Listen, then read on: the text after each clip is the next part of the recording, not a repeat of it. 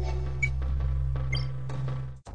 One way Nintendo can add variety to the fighters in the next Super Smash Bros. game would be to include character-specific costumes. From the beginning, we've always had palette swaps, which are adjustments to the basic colors of the clothes, hair, or skin, but a costume would be an entirely new 3D model with the same basic structure and moveset as the original model. Costumes are fun because they add an even deeper flexibility to the process of picking a character that represents the personal flair of the player. In a way, previous installments have danced around the idea of costumes, but the full potential has yet to be explored. Since the first game, Pikachu and Jigglypuff have both had colored accessories rather than traditional palette swaps. In Melee, Mario shows up on the roster twice, one as Dr. Mario. And finally, in Brawl, players were given the first and only official alternate costume with Wario. But Nintendo has a rich library filled with characters that have alternate forms, power-ups, and extensive wardrobes. It's bewildering that such a basic concept has not been explored in a game that is generally thought to be a celebration of Nintendo's history and canon. This is by no means a new idea.